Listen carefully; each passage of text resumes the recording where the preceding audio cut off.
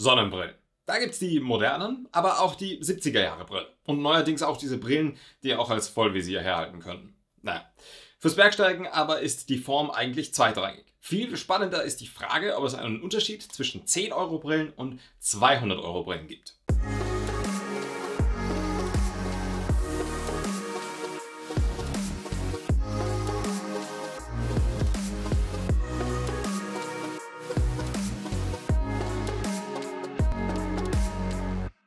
Bei Sonnenbrillen kann man sich erstmal die interessanten Kategorien anschauen. Kategorien gibt es von 0 bis 4. Bei Kategorie 0 braucht man im Prinzip auch von nicht getönten bis minimal getönten Gläsern sprechen.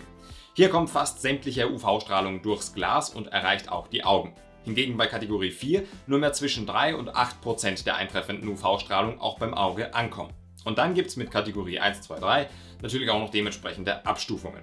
Diese Kategorien geben also die Stärke des UV-Filters an. Im Idealfall sollte man am Gletscher immer mit einer Kategorie 4 Brille unterwegs sein.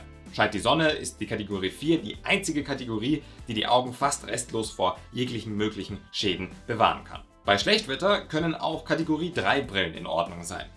Alles darunter ist für den Gletscher aber eher nicht geeignet. Übrigens sollte man auch abseits der Gletscher den Sonnenschutz nicht unterschätzen. Schaut man immer wieder in die Nähe der Sonne, um zu sehen, wo der Weg verläuft oder so, ist eine geeignete Sonnenbrille wirklich wichtig. Ist man besonders hoch unterwegs, ist es hier aber auch egal, ob man Schnee vor sich hat oder nicht, denn gerade im asiatischen und amerikanischen Hochgebirge sind Kategorie 3 oder 4 Brillen eine gute Möglichkeit, die Augen auch auf hoher Höhe zu schützen.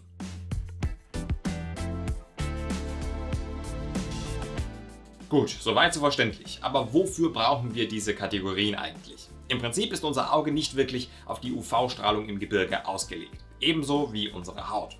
Deshalb kriegen wir ja auch im Gletscher viel schneller einen Sonnenbrand als unten im Tal. Mit den Augen ist es fast so ähnlich. Setzt man die Augen zu lange der Sonne oder der Reflexion durch Schnee oder Eis aus, kriegt das Auge, vereinfacht gesagt, auch einen Sonnenbrand. Im Gegensatz zur Haut kann das aber deutlich schneller sehr gefährlich werden. Die Schneeblindheit droht.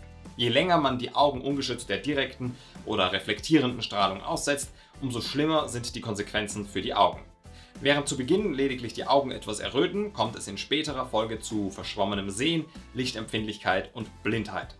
Viele dieser Folgen bleiben ein Leben lang. Deshalb sollte man bei diesem Thema nicht viele Scherze machen und auch nicht uneinsichtig sein, sondern in eine vernünftige Sonnenbrille für das Hochgebirge investieren. Und weil wir schon beim Thema Investieren sind,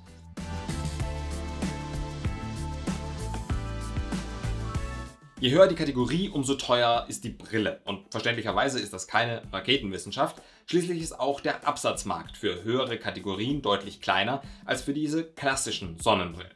Trotzdem sollte man bei den Brillen definitiv nicht sparen. Oftmals sieht man billige Angebote im Internet oder von unseriösen Anbietern, die mit Kategorie 4 Brillen für wenige Euro angeben. Hier sollte man definitiv skeptisch sein, denn die Produktion dieser Brillen ist ebenfalls nicht gerade billig, sodass die Preise am Markt durchaus gerechtfertigt sind. So können Brillen von etablierten Marken wie Julbo schon mal 140 Euro kosten. Diese sind aber qualitativ mit höchsten Standards ausgestattet und sind ein langlebiges Sicherheitsgut.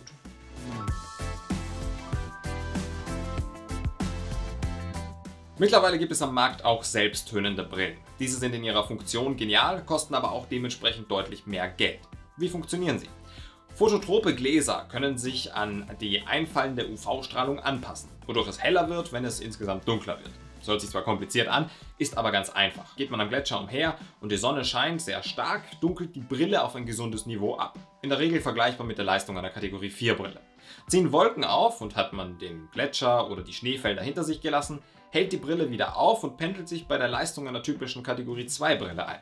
Das führt dazu, dass es am Gletscher nicht zu hell und im normalen Gebirge nicht zu dunkel ist. Somit ist es eine, eine Brille für zwei Anwendungszwecke. Wie schon erwähnt, ist aber der große Nachteil der Preis. Manche Brillen der Kategorie zwischen 2 und 4 können bis zu 200 Euro kosten, also die Wechselbrillen, was schon eine echt stolze Summe ist. Für viele lohnt sich daher auch einfach eher eine Kategorie 4 Brille für den Gletscher und eine normale Sonnenbrille für die restlichen Einsätze.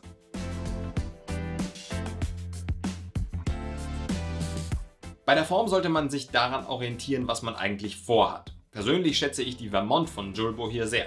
Natürlich ist mir klar, dass sie irgendwie doof aussieht, aber zum einen sind Geschmäcker Gott sei Dank verschieden und zum anderen ist diese Form auch echt praktisch. Hier sieht man beispielsweise, dass eine normale Sonnenbrille zwar gut hält, wenn man aber ruckartig den Kopf bewegt, sie immer weiter rutscht. Mit flexiblen Bügeln kann so etwas einfach nicht passieren. Das ist gerade am Gletscher, wo man die Brille besser nicht verlieren sollte, wirklich wichtig. Außerdem sind die seitlichen Klappen bei einer solchen Brille wirklich zu unterstreichen. Denn UV-Licht kommt nicht nur von vorn, sondern auch von der Seite und kann so einen großen Schaden über die Zeit anrichten. Somit sind Brillen mit großen seitlichen Öffnungen ebenfalls nicht zu empfehlen. Also achtet man bei der Sonnenbrille am besten darauf, dass man seitlich entweder ebenfalls entsprechendes Glas oder auch eine Leder- bzw. Plastikabdeckung findet, sodass hier keine großen Spalten oder Lücken entstehen können. Dasselbe gilt natürlich auch für den Bereich um die Nase.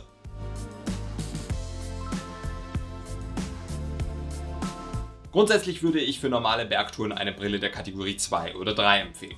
Bleibt man also fern von hohen Schneefeldern und Gletschern, kann man hier dementsprechend auch etwas Geld sparen und bleibt trotzdem gesund.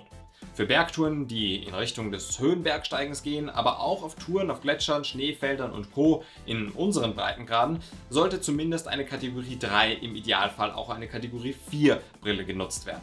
Schließlich geht es ums eigene Augenlicht. Natürlich gibt es keinen richtig oder falsch. Schließlich muss jeder für sich entscheiden, wie sehr man die Augen der UV-Strahlung aussetzen möchte. Und auch hier eine Kategorie 4 Brille wird nach vielen Jahren am Gletscher vermutlich nicht zu 100% geschützt haben. Aber sollte man sich über Ausrüstung und Equipment im Bergsport, egal für welche Disziplin, Gedanken machen, dann sollte der Gedanke an die richtige Brille einfach nicht fehlen. Und wie es eben manchmal so ist, entscheidet leider auch das Geld über die Qualität des Schutzes. Wenn euch das heutige Infovideo zum Thema Technik und Ausrüstung gefallen hat, ihr wisst Bescheid, dass mir ein kostenloses Abo am Kanal und ein Daumen hoch aufs Video am meisten helfen. Auch freue ich mich natürlich, wenn ihr das Projekt Alpen Academy mit einem Kaffee unterstützt. Bis zum nächsten Mal wünsche ich wie immer eine wunderschöne Zeit und Berg halt.